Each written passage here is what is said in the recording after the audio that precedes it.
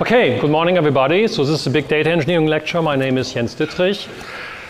Um, today I will um, give you some overview on what this lecture is about. So that's the agenda I have in mind today. Um, I don't go through that agenda now. You, you, will see it will answer all of your questions hopefully about the contents of the lecture, how we run the lecture, administrative wise, uh, tutorials, exercise sheets and so forth and so forth. So let's get started. That's basically the motivation slide I, I showed in the kickoff on Monday, and it, uh, it, can't be more true than that. So um, maybe read the comic if you haven't read it so far.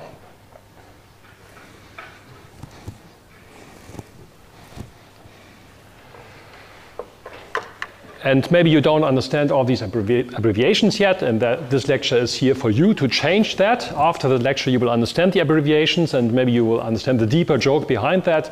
It has, uh, um, yeah, some very um, serious uh, reason, and that is today many web applications are built with very shitty technology. Yeah, you see many systems out there, information systems, web pages or, or applications on your smartphone that don't really work. They're, they're, either slow, they have bugs, they, they don't do what uh, they are supposed to do.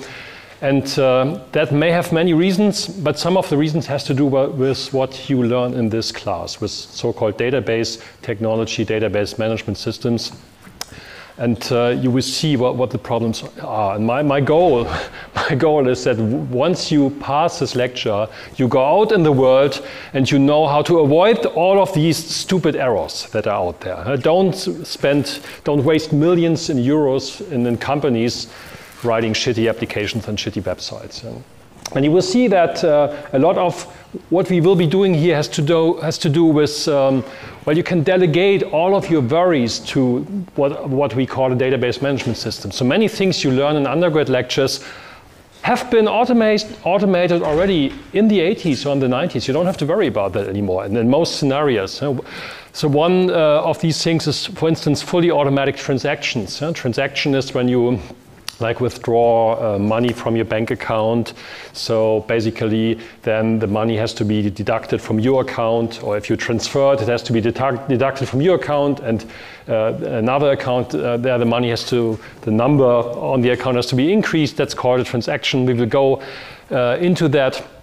But there are many other things. So for instance, fully automatic concurrency control.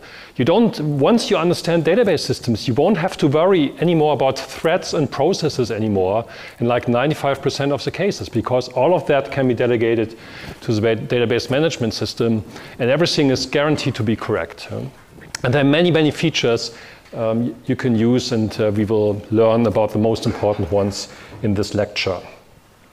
Yeah, and that's what I refer to as the laziness principle in computer science that not only applies here, but also in, yeah, in other aspects in computer science. So basically, um, the idea is whenever possible, you should try to map subproblems to an existing problem. And then use the existing solution to solve the subproblem rather than reinventing everything from scratch. And this is unfortunately something you see very often in industry, but also with students that, hey, there's a cool problem, I'm going to implement that. Yeah, I read something on Stack Overflow and then I ask ChatGPT and bring the two code snippets together and hey, it works, right? No. The goal for you as a computer scientist or data science and, and, artificial intelligence student or business informatics or cybersecurity, whatever is, you should have a good overview on what is out there. Yeah, which fields, which subfields exist in computer science, which kind of solutions do they provide, and in particular, whenever you run into a problem, you should be able to understand, oh, that problem was solved already before, 50 years ago. I don't have to reinvent that. I don't have to start from scratch. I can delegate my problems. I can map my existing problem to those existing solutions, and then you will be fine. And that's a very important part of computer science. Uh, no matter in which role you are, whether it's going to be a software engineer, a researcher, whatever role, you have to understand that. Yeah? You shouldn't come up with solutions that can be superseded easily by using a, a library. Yeah? And that's very important learning message or learning takeaway from this lecture. Yeah, and in the context of this lecture, that means, um, so existing solution means database systems. So rather, so whenever you deal with handling data, yeah, be it whatever, some, some, some tuples, some whatever student information or information about movies or whatever, uh, you might put though, that information into a file, you might put it into a binary search tree, uh, you might put it into a hash table, stuff like that, as you learn it in the data structure and algorithms class. In this lecture, you will learn that you will never have to worry about that anymore. You don't have to put data into data structures like binary search trees or hash tables. That's not your concern and should not be your concern unless you develop the internals of a database management system. But if you're just using a database management system, you don't have to care about that anymore. Yeah? And that leads to this next principle, which I uh, call the missed opportunity for laziness principle. If you don't know that the subproblem could be mapped to an existing problem, you miss a chance to apply the laziness principle. And that happens all over the time. So even myself, I'm still learning. So we, we, are, in my group, we're developing a web application. And uh, so I'm not so much into web application. I started only two years ago, but I'm getting better and better. Um, but there's still things I'm learning. There's still things, oh, there's a library that solves exactly that problem I was about to code myself.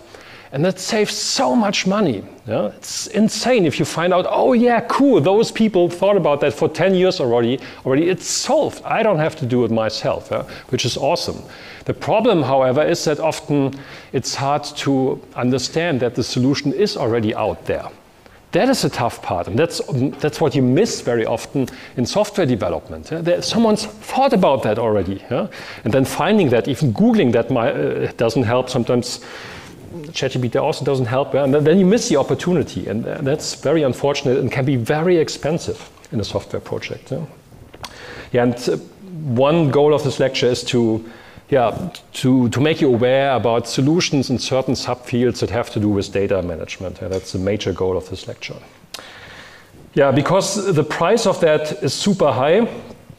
So when you develop things yourself, um, so you basically then reinvent the wheel. Uh, you have development costs for the features you are developing. You have testing costs, testing in the sense of unit tests, of course, integration tests and so forth, deployment costs, bug fixing, um, costs to add new features.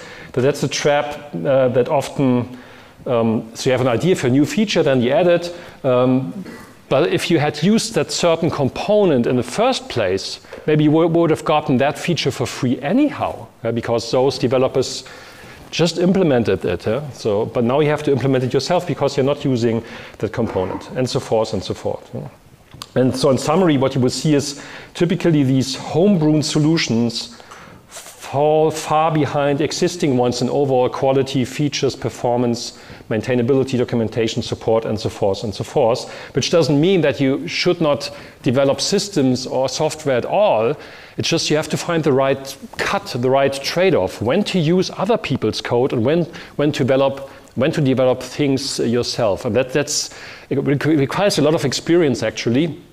Um, but um, yeah, at this point in your studies, it's important to get started with that and really understand, okay, so when it comes to data management, what this lecture is about, hey, those solutions exist, and in this situation, I should use it, and the other, I should stay away from, from this stuff. Yeah? So you will also learn in this lecture that, yeah, there are database systems, but you, there's no need to use them at in, to use them each and every time. There are really situations where you should not use a database system uh, because it doesn't make any sense. Yeah? And we will look into that uh, in this lecture. Okay, um, yeah, then a little bit about industry um, versus university. So we uh, have a couple of slides on that because it's so important and so much in the way to designing good systems is you will, um, when, when, you read about articles in IT magazines like Heise.de or other articles or even uh, uh or um, good newspapers, journalism, they, they often use what we call buzzwords. Yeah? Big data, AI, blockchain, machine learning, you name it. And that's a huge problem. Um, because here's another buzzword uh, uh, that's in my domain in data management called data lake. Who of you heard the term data lake? Yeah, some, okay. Not so many, it's good. No, not all hope is lost, that's good. Um, so that's a term that doesn't mean too much. It's maybe an epsilon more than a distributed file system. Yeah? A distributed file system is that rocket science? Maybe not. Yeah? But uh, this term is used to sell certain technology and often these, these terms are used to, to be the solution to each and every problem that exists. Yeah? So, so there's salesmen, hey, yeah, all of your problems can be solved by data lake. Yeah? Or you replace it by, all your problems can be solved by AI. Yeah? I mean, it repeats over and over again. All your problems can be solved by you name it, yeah? maybe uh, NoSQL, yeah? something like that. And that, that's a huge problem because you see that in industry discussions that people use these buzzwords. And here we're in industry. Um, my strong recommendation is don't use these buzzwords. They don't help at all.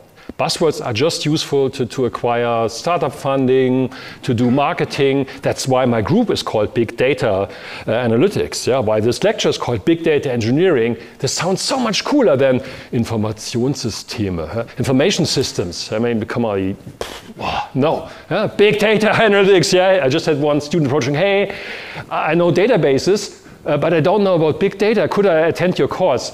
I was about to, to, be honest and say, yeah, well, actually, this is about databases. I'm sorry, it's just a, the selling sales pitch. so we learn about a lot data. We learn a lot about databases, but also big data, whatever that means. Huh?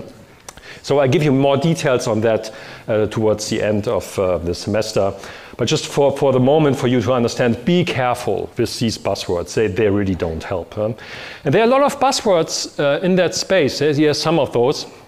Um, yeah, whatever, you name it. Yeah? Uh, information systems, big data. Yeah, just for big data, if you're now confused, hey, why big data? Why is that a buzzword? Because the, the translation of big data is not clear. For some, it means large data sets. What is a large data set? If it doesn't fit, uh, fit, uh, um, fit in your uh, pocket, then it's a large data set. Or is it exabytes? Is it petabytes? Is it all the data in Europe, all the data in the world? What is large? Yeah, so what's the problem here? The problem is the reference point is missing. Large with respect to what? Bigger than what? Big data versus small data, but then there's bigger data. Is the bigger data, what do you say? It's huge data? Is that, is that huge data is bigger than big data? It's completely stupid. Yes? the reference point is missing in that. Um, so it's a super um, that's a buzzword. It's not clearly defined. And it holds for other um, um, terms as well. So some are clearer defined, others are not so clear defined. Uh, it can be very confusing. And uh, I hope with this lecture I, I lift the fog a little bit to, to, to clarify what these topics mean. Another uh, common term that you see is data science. So people talked about that for the past 10 years, and we now have this program that, that I co-funded with colleagues, Data Science and Artificial Intelligence. And data science is a mix of many different things. It's, it's like a big uh, cake with many ingredients. Yeah? So there's artificial intelligence and machine learning, whatever that means. There's data management, whatever that means, data mining, and an application domain. Application domain meaning it's not just you're looking at the methods, but you try to use some real data. You try to analyze some real data. You build models, you build an AI for real data. That's typically done in, in data science.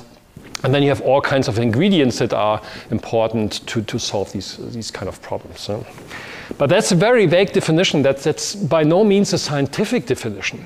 And if you Google on the web, you will find many other um, definitions for, for, data science. Uh, that, that makes it the buzzword. Uh, whenever something is not clearly defined or is hard to define, then it's probably a buzzword. Yeah, maybe a, a bit about the big data term. And uh, there's a nice uh, fun term a colleague from CMU phrased uh, a couple of years ago that's called a databaseologist. Yeah? So, so there's a scientist working with data. That's what my profession is about. So I'm a databaseologist. I like that term. Um, so database technology or technology for managing data, that was done already since the 70s in the right way. before people also did it in the 60s in the not so right way, but starting from the early 70s, uh, certain fundamentals, fundamentals were invented, and since then everything is, is good, basically. Yeah? And um, it's kind of fun to, um, to, to see people, people talking about um, large data sets because from a technical point of view, managing large data sets That has been solved a couple of decades ago. It's done. We, we're through. There's no real challenge left anymore. Whatever the size of your data set, we can handle that. We can query that in no time. Yeah, there, there, are techniques for that. Yeah. So if there are performance problems with large amounts of data, it's seldom due to hardware or software. In 99.99% of the cases, it's an educational problem of the developer or the computer scientist. So that means often people claim, oh, my database doesn't scale, oh, it's too slow, I can't do anything about that, the database system is crap. No, that's super rare that that is really the true uh, root of the problem. In most cases, it's people not understanding how to use the technology underneath, which is unfortunate. And again, this lecture is here for you to help understand what's possible and what's not possible. Yeah, what we're also seeing is this combination of database technology with other subfields of data science, which is highly exciting. Um, so, for instance, applied machine learning in databases. So, we, we see more and more the trend that certain algorithms in the database system are um, replaced by machine learning models, which is a super cool idea. Eh? You don't implement the data structure yourself, but you replace it by uh, some learned model. Yeah? And that happens more and more, that AI is taking over uh, the role of um, yeah, providing functionality you would have to implement in a co component. Uh, and so that's uh, pretty interesting, actually, in, in research. Um, what people often underestimate is the impact of the storage or the database system. So um, often you see in software projects there's a certain focus on uh, application logic uh, and the complexity of the algorithms, but um, that's not necessarily true. So often the bottleneck or the problem in the system could be that the data is not delivered uh, quickly enough to the application or that the storage system, be it SSDs, file systems, whatever, is too slow. Yeah? And uh, that is something where we definitely, um, definitely can help. And here's one, um, one example. Um, that, that's a use case we bumped into five years ago uh, uh with a startup I co-founded. There was some guy developing uh, some big data application doing a couple of things wrong because they didn't know about these database tricks. tricks. And in the end, uh, yeah, that, that, application could have been 10,000 times faster than he did. Yeah, so he used a big cluster to do certain types of processing, and if he had done it in the right way, it would have been 10,000 times faster, and actually he could have done it on a smartphone. No need to use a big cluster for that. Yeah. And that, that, that is where computer science gets cool, to my understanding. I mean, everybody can buy new hardware and, a big, uh, and use a big cluster and run fancy programs about distributed systems. But the real coolness comes in if you come up with a clever algorithm with, with clever, clever tricks and make it arbitrarily fast on small machines. That's, that's what, what the magic is in, in computer science, to my understanding. Yeah. yeah um, yeah, phrases like that. So that's another term you might, you might be seeing here, Kiwi, kill it with iron. So um, that's a principle you um, can easily apply in many software projects. So whenever there's a performance problem, the first thing you do in, in a software project is not to fix your software, but to buy new hardware. And many problems can be solved by that because um, hardware is typically much cheaper than fixing a software bug. Yeah, if you uh, look at the implications of unit tests and uh, yeah, introducing new bugs and stuff like that. So many types of problem can be uh, fixed by what we call the Kiwi principle, kill it with iron. Iron meaning hardware. So you add new hardware, you add, add, add faster storage, you add more CPUs, more threads, and maybe then you're good to go. Yeah? And sometimes that fixes the problem, but sometimes you need more, and that's what it's all also abbreviated with Kiwi, kill it with intelligence. Yeah? But killing with hardware, everybody can do that. This lecture is about killing it with intelligence, of course. Yeah, and then basically you see this both sides of, uh, you see these both sides in discussions. Yeah? So you see um, discussion, discussions like, okay, the performance of the database technology plays no role. Yeah, obviously when the data is small, yeah, if, if whatever small means in, in that regard, or the hardware is fast, so fast enough that it doesn't make the difference. And that is today the 95% case.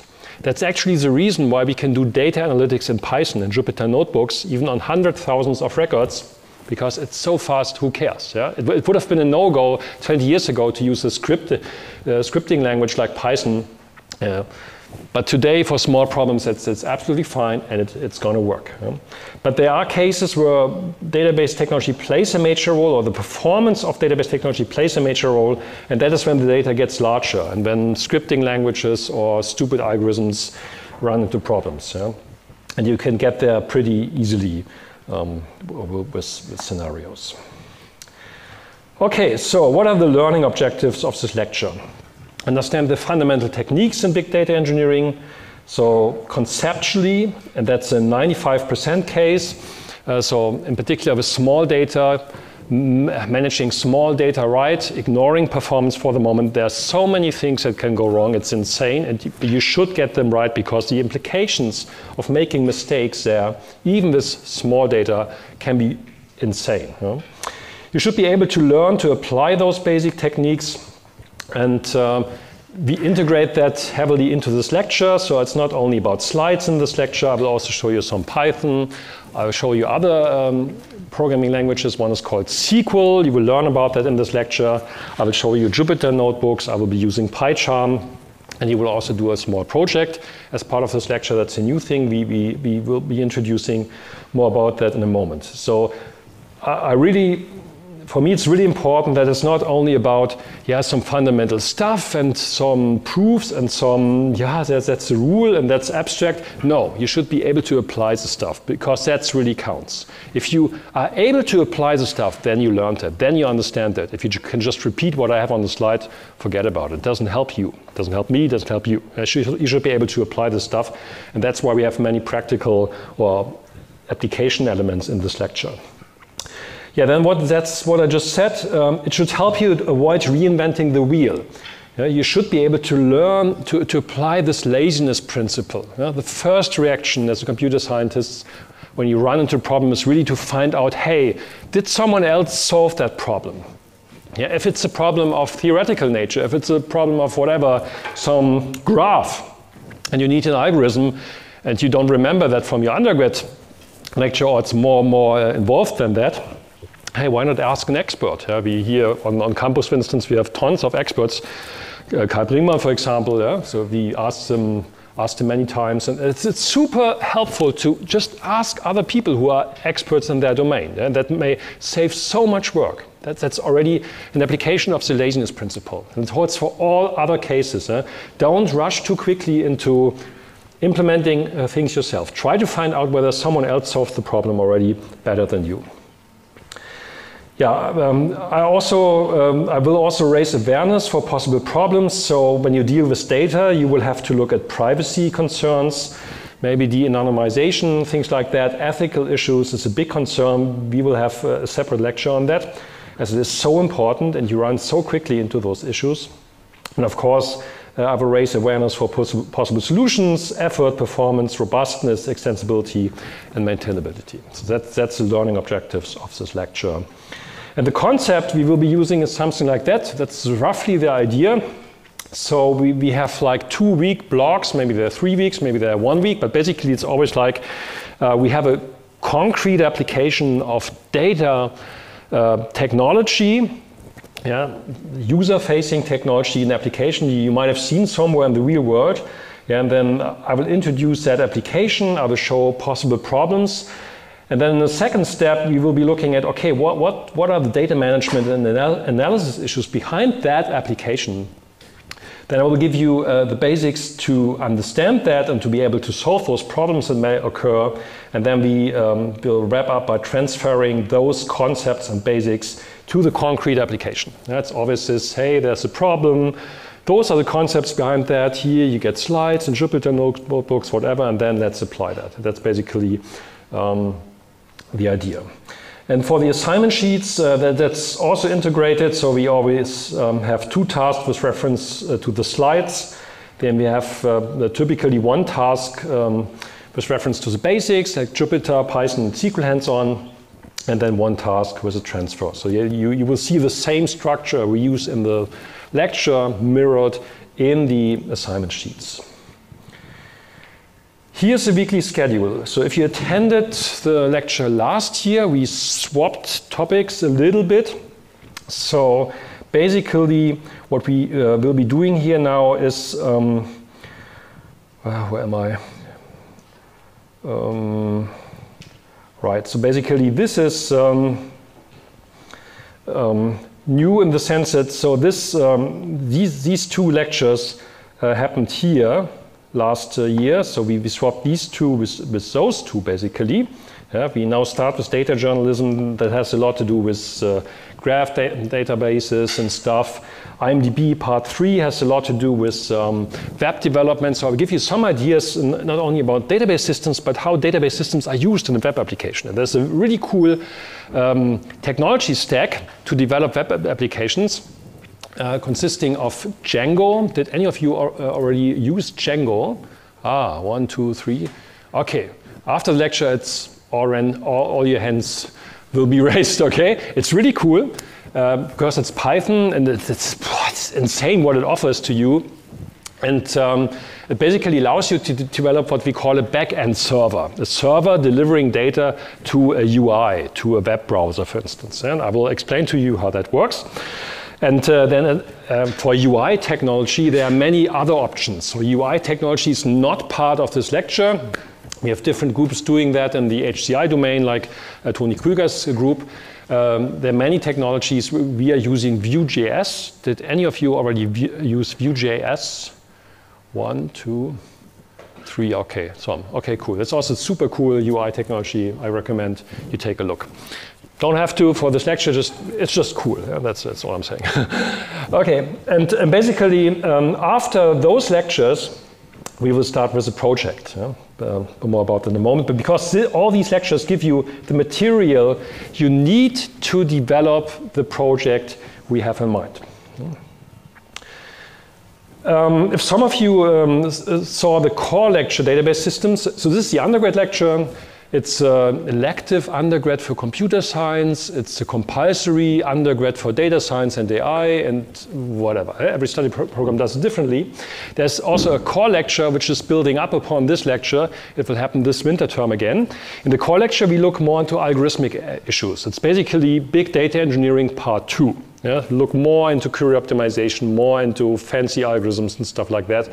Uh, we, will, we, are planning to re redesign it for this winter term and we have several fancy ideas, also much light uh, project that's really lightweight uh, compared to other years. Uh, stay tuned. Yeah? So if you, if, if you attend the lecture and still feel like, oh yeah, that's cool, I got, I got to continue, yeah, you're welcome to join that lecture in winter term.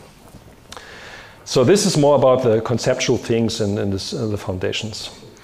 Yeah, a little bit about myself. So I work in this domain. I've been working in this domain for 25 years now big data analytics, scalable data management, databases, data science, data science not so much these days anymore.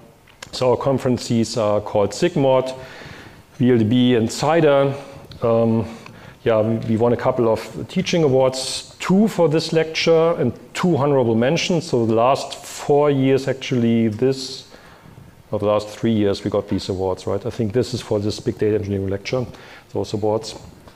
I have a YouTube channel if you're interested. There you see um, basically all the lectures I'm doing um, are recorded and I put them uh, publicly available on YouTube. So you can also see um, lectures from previous years, but there's also other material I will be pointing to differently, uh, uh, pointing to uh, additionally, I mean. So because the, the contents of this lecture has, has changed over the years, and there are various uh, videos that explain the same concepts with different examples in different videos. And so I will link to that, so you ha always have the chance to look at, hey, different explanations. Um, if, if you're unhappy with one video, go for the next one. Okay. Yeah, here are the tutors. Suluka Grecha, who is a PhD student in my group, uh, is, is the chief tutor. And those are the tutors. Um, you can also see that on uh, our CMS, where you, most of you registered, I guess, already. Lecture every Thursday, so don't get confused. In I think in LSF it's still entered with Tuesday and Thursday, something like that. Someone has seen that. Yeah, no, it's just Thursday. Yeah, Thursday, 10:15. There's a lecture, except for these two holidays in summer term. Yeah. But it's all in the calendar. Recording on YouTube, as I said, slides in the CMS before the lecture. I will always upload it before the lecture so you can download it and uh, um, write your notes on it. There might be little changes here and there, typos, whatever, but most of the time it should be stable. Code uh, for all the stuff I'm using will be publicly available on GitHub. So take a look at that one. Um, office hours, um, here. I don't have to read all of that. Office hour prof, maybe that's more relevant. So if you have a question, you can uh, directly uh, ask it in the break or after the lecture, of course. Um, if it's more involved, you can also make a separate appointment, no problem. But you can also go to the office hours. You can approach um, your tutors. Um, it should be uh, good to resolve any questions. We also have a forum. I will show that in a moment. Uh, or maybe I show it now, right? So basically, this is uh, the forum we have when you um, go to our lecture. Here's a forum. And then basically here you can ask your questions. Of course, you first look for threads where, where, where, maybe someone else already have the problem, and then we try to be responsive. Of course, as a student, you can also um, reply and answer questions. Yeah? It's, it's all gamification, of course, in this discourse uh, forum. Yeah? But if you know the solution, write the solution, that's fine. And then you gain points and stuff, yeah, you, you know how that works. But of course, if no one answers, we will also answer the question and, and try to help you there. Yeah, here in materials, you will see the slides I'm currently presenting basically, and here we'll um, present all the information. Down there, we have links to the notebooks I will be using. We also have links to um, Python tutorial videos if you've never used Python. Someone who never used Python. Okay, a couple, okay. Okay, so it's getting better. So there's no way to avoid Python in computer science. No way at all. No way, really no. You must learn it now. It's not to, now, today, not tomorrow, today. Yeah? And if you start today and do it for two hours, you're halfway through. Because it's, I mean, at least for the stuff you, you will use in this lecture. I mean, if, if you attended programming two, which I expect you did, right? Yeah, you did that, right? And programming one, which I expect you did, yeah, then it's easygoing. Python is really, I mean, of course, there's obviously these Python wizards that, that write some stuff and, uh, wow, uh, I don't understand it, but it looks great. Yeah? yeah, you can do all of this with Python. That's fantastic. But for the stuff I will be using, it's really, it's two or three hours, honestly. Yeah? So the videos are like four hours, which is super slow. Maybe increase the speed on YouTube to, to double the speed, then it's okay for computer scientists, maybe. Yeah? But it's really not much, and it's used all over the place. I mean, the machine learning people use it like crazy. Um, we use it like crazy. It's awesome. For all kinds of prototyping tasks, we use Python. Bachelor students write their prototypes in Python. Bachelor, master students, PhD students as well, because it's an awesome language. Ah, yeah, Django is in Python, right? Yes, you will need that for Django later on. It's not only the notebooks. Yeah, um, so much about our CMS, um, what else can I say about here? This one, main page. It's the same as in the same system as for other um, lectures, of course. Yeah, Vagrant, um, so that's what we offer for Python. So um, the stuff you need for Python for the first weeks is relatively basic. Yeah, you don't have to use Vagrant. You can just do pip. I mean, you have Python installed, I guess, anyway. Uh, if not, install it. And if a package is missing, you do a pip install whatever package, and you have it installed locally. So getting a local installation of Python should be no problem for you. If you have problems installing Python, Google for the solution. You should be able to do that, or ask, ask, ask your colleagues and, uh, and peer students. Yeah? Um, as we are also using database systems like Postgres, which are a bit harder to install. We're offering a virtual machine image that's uh, generated through Vagrant. And um, oh, the slide coming up here? now? that's the next. Um, that basically allows you to start that virtual machine and, and it has everything installed. Yeah, so uh, we highly recommend you use that. Personally, I don't use that because I have Python installed locally and works fine. However, we know that for certain scenarios, installing Python can be tricky. In particular on Windows, sometimes we have issues, and you see, see that in the forum, certain, certain uh, machines uh, are difficult. Yeah? So we really recommend um, you use Vagrant and uh, VirtualBox by Oracle. So, and you have all these explanations in our forum, uh, if you see it, whatever. Here, Vagrant, FAQ, we have uh, Vagrant details, how that works. Go through that and give it a try yourself, an honest try before asking us. It, it helps you a lot, and you will have everything um, installed. There are um, some known issues with that.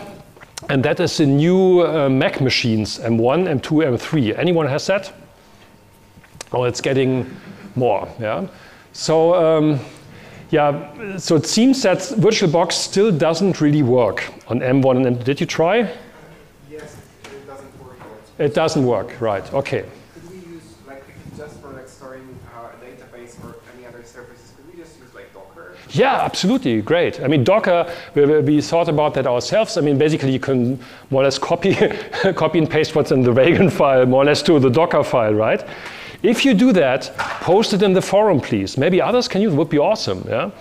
And um, so the, the M1 and M2 and M3 are getting more and more popular. And the problem with that is, two weeks from now, I will have a strong motivation to make it work myself because I will be getting a new Mac. Yeah? so there will be a solution for that, don't worry, yeah? because I'm highly motivated. Yeah? Either using Docker or installing it locally. So for the moment, you don't, don't worry. If you have an M1, M2, M3, just install it locally, or maybe the guy posts uh, the Docker file, and then we're good to go. By the way, Docker on M1, does it really work? Because on Intel, Well. on Intel, it doesn't really. It really slows down everything. We had really issues with that. Um, I didn't have any issues with Cool. databases and all that in Docker.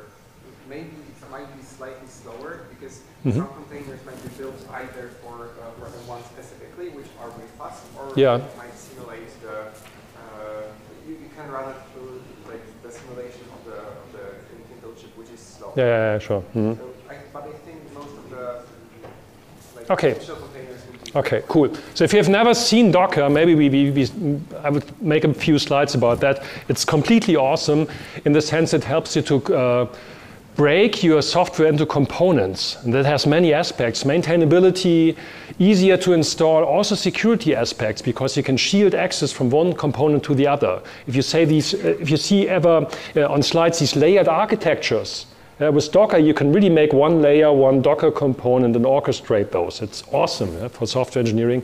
Maybe I'll make some slides about that later on. For the moment, that might be the solution, or it sounds like it's a solution for the M1, M2, M3 chips. huh?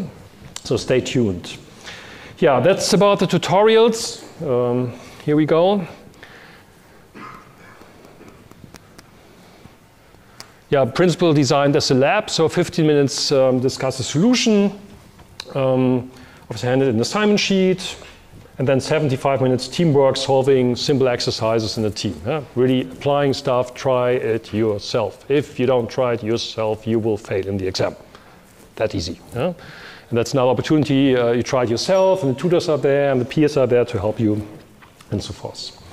You must choose your preferred tutorial time slot um, until this deadline on your personal status page, page in the CMS. If you haven't done so, do it soon. And then we will assign you to the tutorials. And then this one is important. If you're unable to attend on your assigned data at some point, data at some point, you are welcome to attend another tutorial. Uh, uh, okay, no problem with that. Yeah, assignment sheets are like in other lectures. Every Thursday evening after the lecture, topic-wise about the lecture you had uh, in the morning, and then submission is until the start of the ne- next lecture. Uh, in groups of three students, that's compulsory. So we have many more students this year. We have 20, more than 20% more students than last year, and last year was already insane. So uh, you have to work in groups, which again trains teamwork anyhow. And you only have to hand in one assignment per group, put all your names and uh, immatric- immatriculation numbers on top of the assignment, uh, and then you're good to go. Hmm? Um, what's important is I mean, um, how, how should I phrase it? There, there are different ways to do that when you're in a group. we have four um, questions. Assume it's three. Yeah? It's very natural to say, hey, we have three. There are three questions. no. yeah, it works, of course. If, if everybody of uh, you uh, does, does, one question, does right, you, you get 50%, eventually everything is good. But the problem is, uh, recall that uh, the, the, the, the, purpose of your um, assignment sheets is to, to train you for the exam. Yes, so the exam is not teamwork, that, that's only you. Yeah, so you can't ask your peers in the exam. So you have to also, mm, yeah, if you just strictly partition it, you better understand all of the material, or at least 50% to, to, to pass the exam. Yeah? I know it's, it's tempting, but um, yeah. The, the, more interesting thing you have to keep in mind uh, so it's this part of your studies, it's typi you typically don't have that much experience in, in teamwork.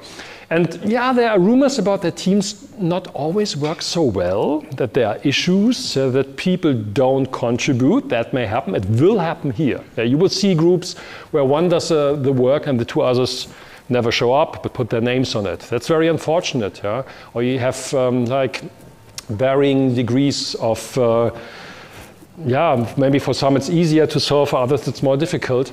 Um, the most important advice here, try to escalate it early on. Don't come one day before the exam and tell us, oh, the other guy didn't, or other woman didn't participate.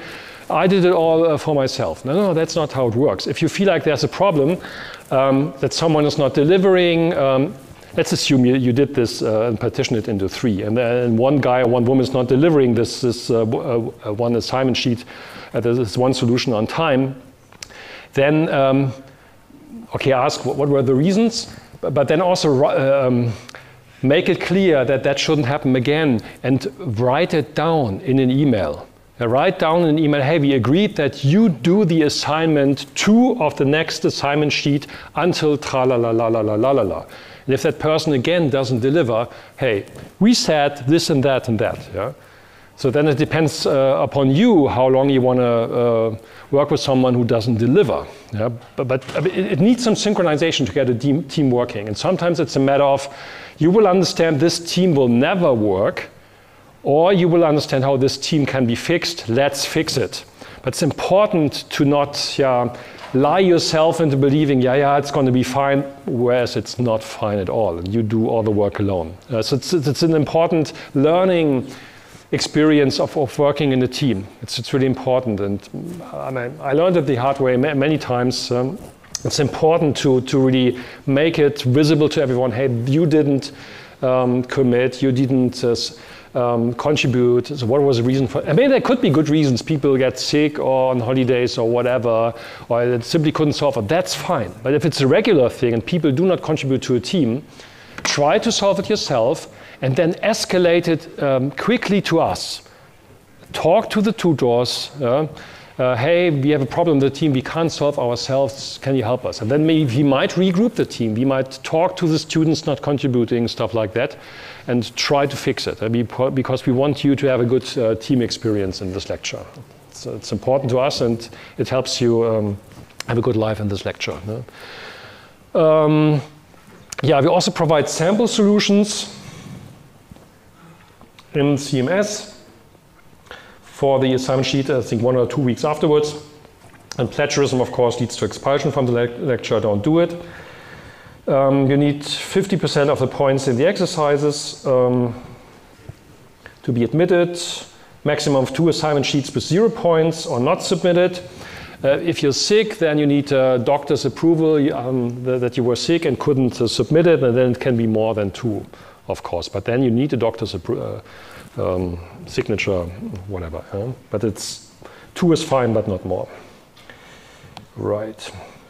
What else? Yeah, this is new. So if you attended it last year, so we have a project, and uh, it was actually motivated by my daughter, who's currently writing uh, her high school um, exam.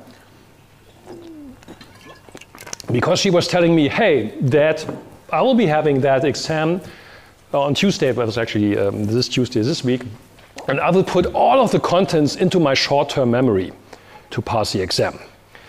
And then I said, uh, wait, that's not the idea. She should be learning something for life to, to, to recall later on. And then she said, no, that, that is the idea. right? I mean, it's gamification. You want to pass the exam, want to have a good grade. Uh, and the problem with computer science, yeah, you can do your studies like that, sure. Yeah? But at the end of the day, you want to become a, great computer scientist, data scientist, whatever uh, your study program is called. And to my humble understanding, you will only become awesome if you do projects. Do projects like crazy. That is where you will be learning. Yeah, you will be learning stuff through lectures, I understand.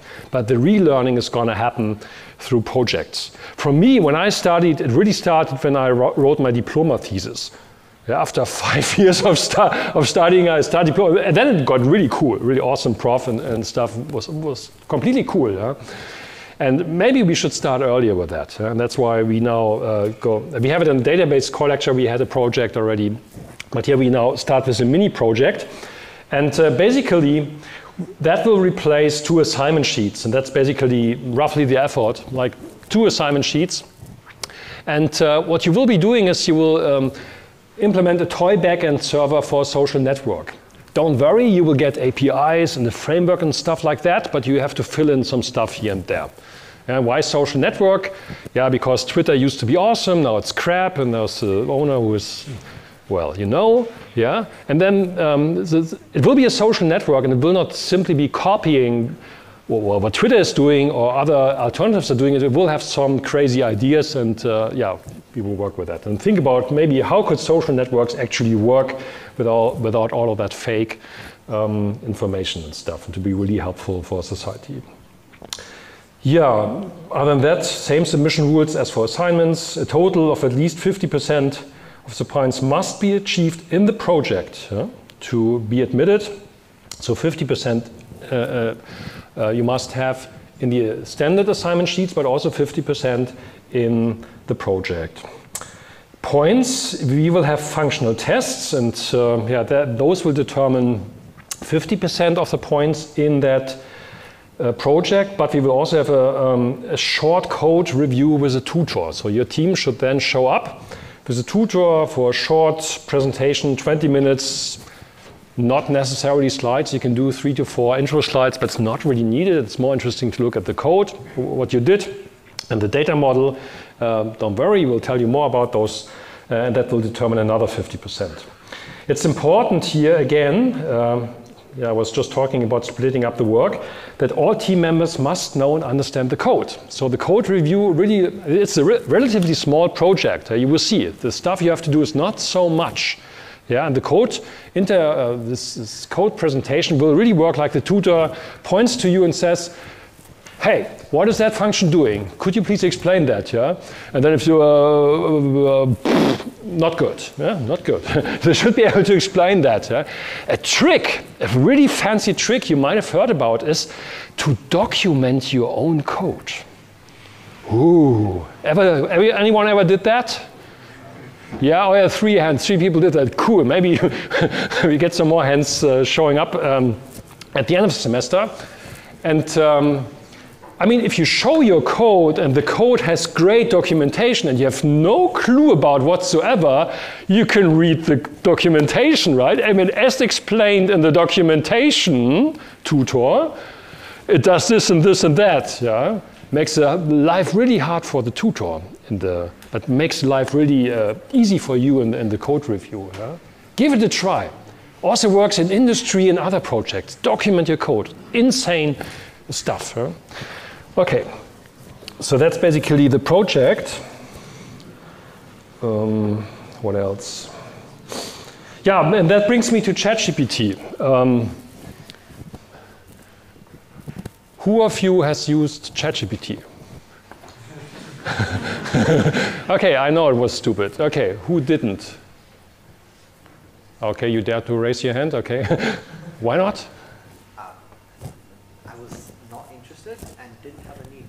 Okay. It's Fair. quite simple, really. And I, I didn't want to give them my phone number that too. You didn't want to?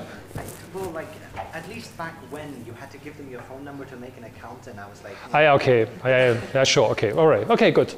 Okay, so um, we had this slide I created last year with the rules, and now there are some strike-throughs. So what are the rules? You're fine to use it. These tools are reality and here to stay.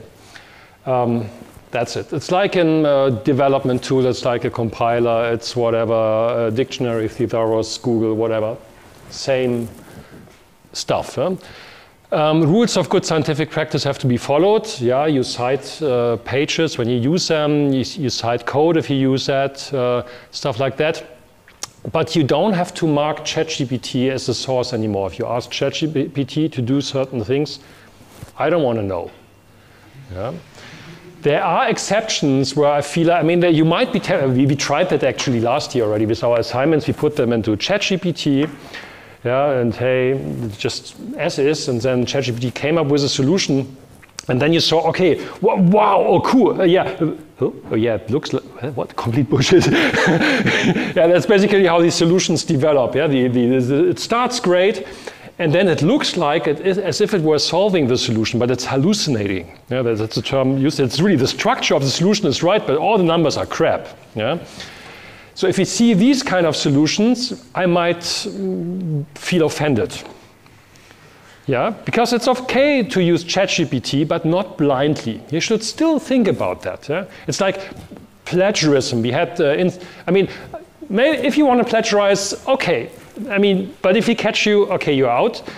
But, but don't offend, us plagiarizing stuff. Yeah? There, there, were cases in this lecture where people did a photocopy of the solution, did a strike through the name of the student and wrote his or her name under that sheet of paper and handed that in guess what? We found out that that was plagiarized, right? I mean, we're, we're not stupid, yeah? So please don't, don't insult our intelligence. I don't like that, yeah? Use it the right way. And um, I don't know, maybe I can show that a little bit in with my other glasses. So it is part of uh, a computer scientist's reality. Huh? So if you go to whatever, whatever. So basically, this is PyCharm. If you haven't used that, that's an awesome IDE for Python development. We also use it for Django. We use it for our project. It's completely awesome. Um, I can everything with that. You have Git integration and stuff, and fantastic. And you have integration with Copilot. Yeah? So um, I'm not sure whether that's for free for students. Uh, the integration, um, I think it's 10 bucks uh, a month or something like that. But the awesome uh, thing here is if you, um, I don't know, where can I show that?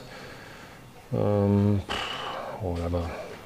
If you write some method somewhere, I'm sure if they've seen that, maybe here.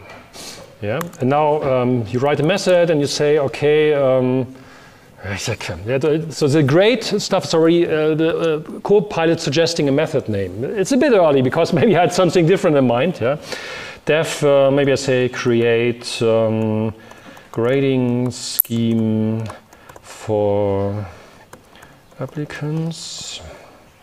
So, yeah, and then it will be thinking, thinking, you see it here, and then it will try to analyze the certain context, and then we'll come, come up with uh, code proposals.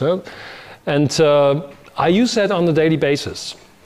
For code proposals, it's actually um, it's, it's the same problem with, with hallucinations. It, it, often looks right, has the right structure, but the attribute names are broken. Yeah? So that's a little bit like with Stack Overflow. You copy it from Stack Overflow, but yeah, this doesn't work, that, and then, mm. so sometimes it's more work than writing it yourself in the first place. Yeah? You have to find out when to use it. So that's one recommended. You give it a try. Sometimes it's really awesome. It's in particular awesome, uh, uh, for, for, for, certain cases. It's awesome in particular when you use a library or certain API you don't know too well. Yeah, then it's sometimes hard to find out, okay, how do I use it in this case, in that case. There, ChatGPT is really awesome. Right? It saved so much work already. And the um, more interesting thing, uh, rather than um, this example, is documenting your code. So I had uh, here too much, too much documentation here. Maybe I'll give it a try here. So I often run into issues, for instance, uh, when development, okay, okay, I wrote that two weeks ago. I have no idea what this code is doing. Um, so basically, uh, you write a, a, pound symbol, and then it summarizes the code underneath for you. Uh, you could leave it there standing. Uh, often the documentation is actually pretty good. Create fake data for study programs. Yeah, that's actually correct. Mm, no. Also creating settings for yards, correct. Yeah. Is there more? Um,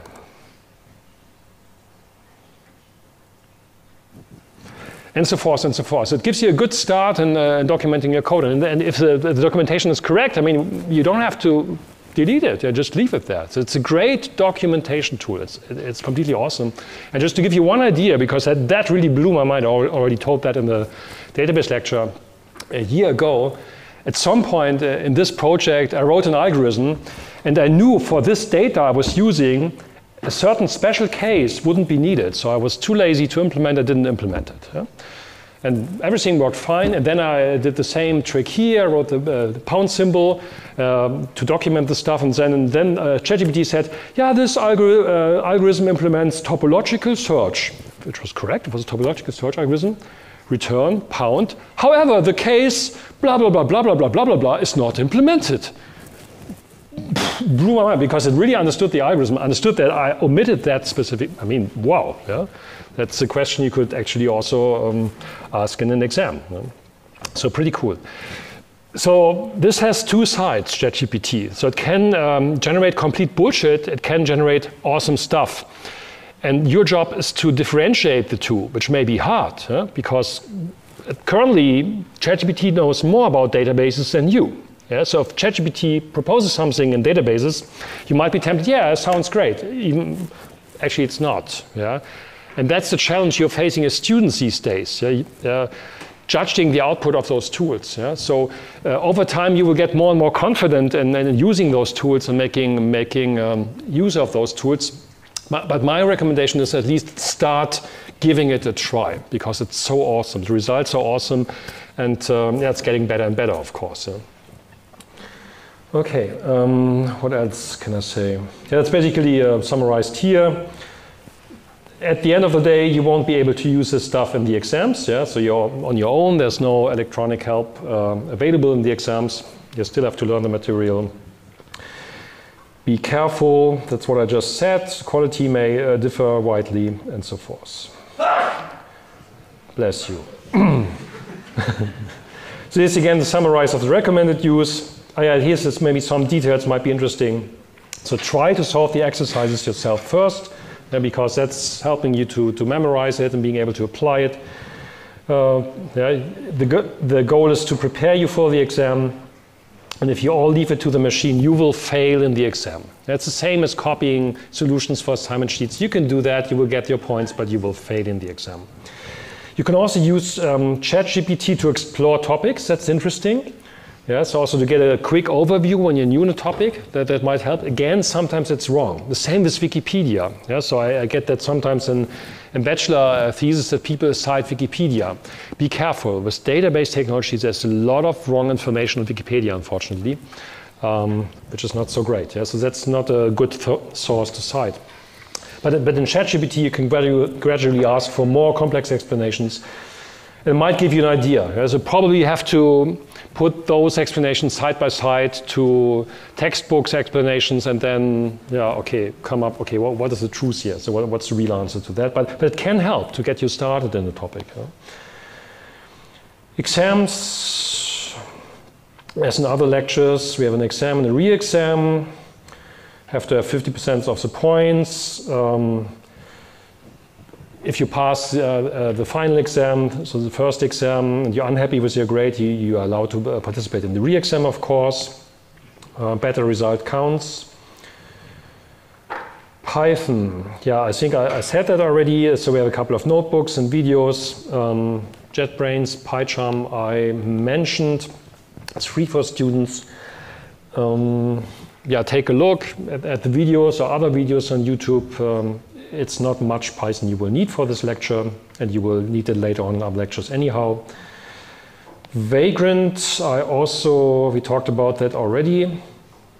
Again, you don't have to use Vagrant, you can, may help uh, make life easier, basically. So here's a summarizing picture of what's happening. It's basically virtualizing uh, a machine So you're running a guest operating system in that virtual machine that runs on top of a hypervisor, and uh, the application of that guest operating system then believes it's running on a native uh, operating system, and that's a great technology that's used all over the place. That's used in all of cloud computing, basically. But there's a more lightweight technology, and that's called Docker. Uh, Docker doesn't have to necessarily instantiate a virtual machine if you're running on a Linux kernel anyhow. Uh, so Docker is maybe the way to go on, on, on a server or if you have Linux anyway. Yeah, so basically that's all I can I wanted to say today. Are there any questions? Questions about anything I presented? Yeah.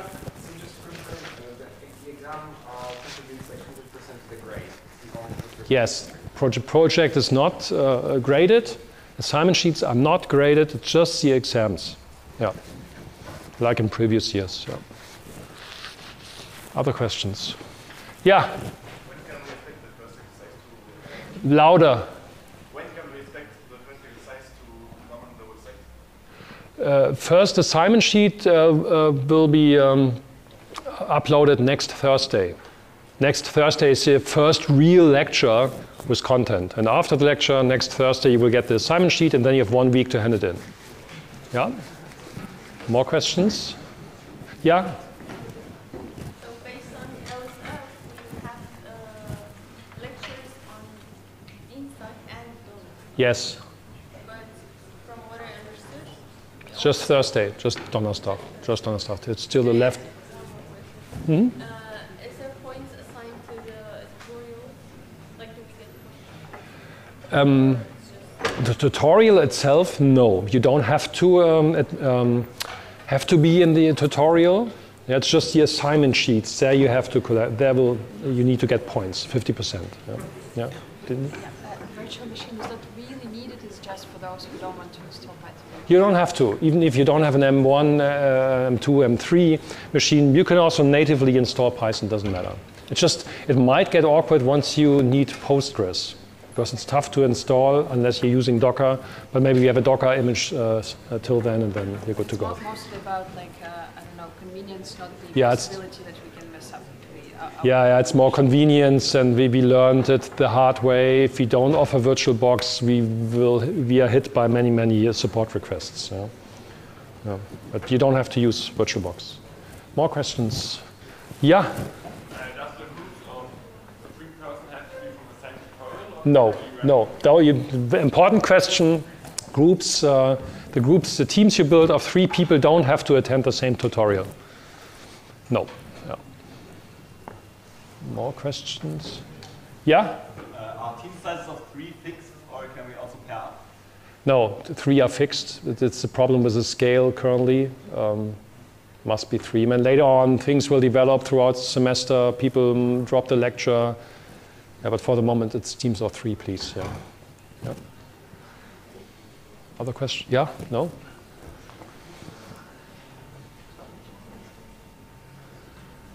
Yeah, then good luck for the lecture. See you next week, Thursday, 10.15. Huh?